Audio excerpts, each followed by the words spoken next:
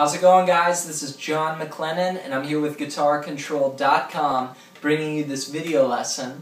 And something that we've discussed before is triads on the lower strings. So, for instance, if I take an A chord and I play 5, 4, 2, and then I invert that chord, and then I invert it again, and then even again, I get some cool voicings that you can use, you know, if you're playing in a band for creating secondary guitar parts, and ideally just the more voicings and inversions you can, uh, you know, get into your vocabulary, the better. So check it out. We're going to go through, we're going to take this chord now, and instead of inverting it, which is what I showed you before, we're going to harmonize the entire scale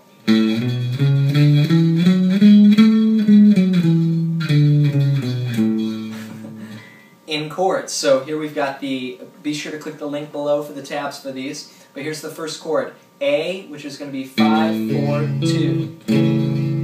And then I'm going to go to a B minor, which is going to be 7, 5, 4. And then C sharp uh, minor, which is going to be 9, 7, 6.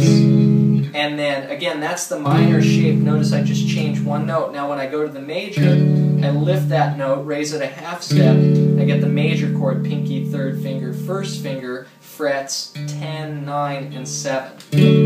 Then I move that up a whole step to get E, and then I'm going to get the F sharp minor, go to that minor shape, G sharp minor 7, uh, or G sharp diminished, and then, so this chord here would be 16, 14, 12, and then resolving there to the tonic one chord up the octave. Uh,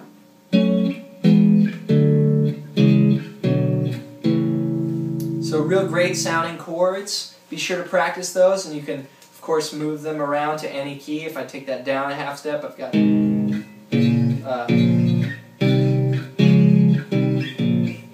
know, the key of A flat Here's back up in A,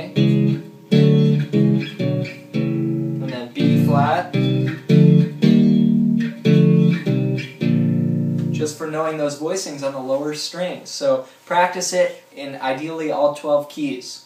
We'll see you next time.